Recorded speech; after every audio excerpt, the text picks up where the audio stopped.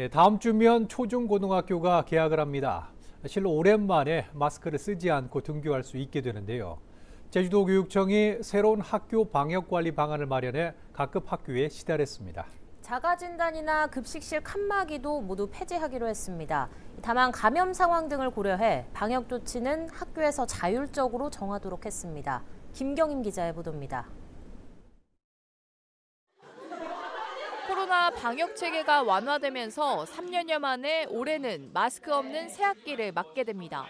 다음 주 개학을 앞두고 열린 기자회견을 통해 김광수 제주도 교육감은 신학기 학교 방역 관리 방안을 마련해 발표했습니다.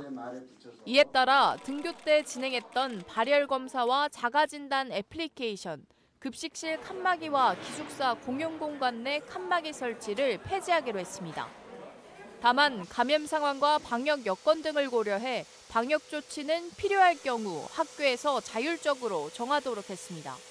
이를 위해 보건교사를 배치하고 방역 물품을 충분히 구비할 수 있도록 예산 10억 원을 지원하기로 했습니다. 학교 방역 인력 지원 사업도 2개월 더 연장하기로 했습니다.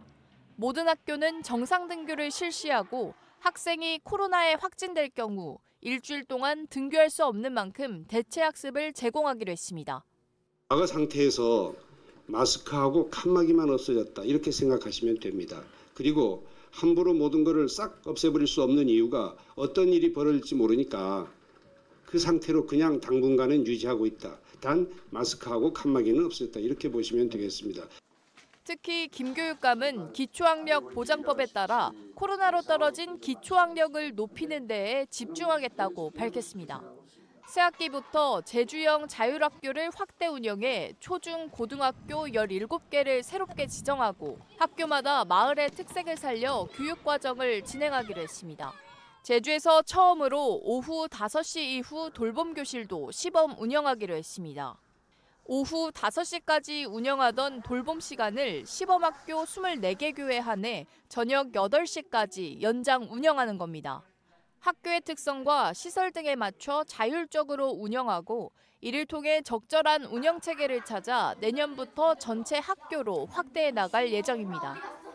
5시 이후 돌봄교실 시범 운영은 우리 아이들을 안심하게 돌봐줄 수 있는 여건이 마련됐다는 차원에서 학부모님들의 돌봄 걱정을 덜어드릴 수, 있, 덜어드릴 수 있는 것으로 기대하고 있습니다.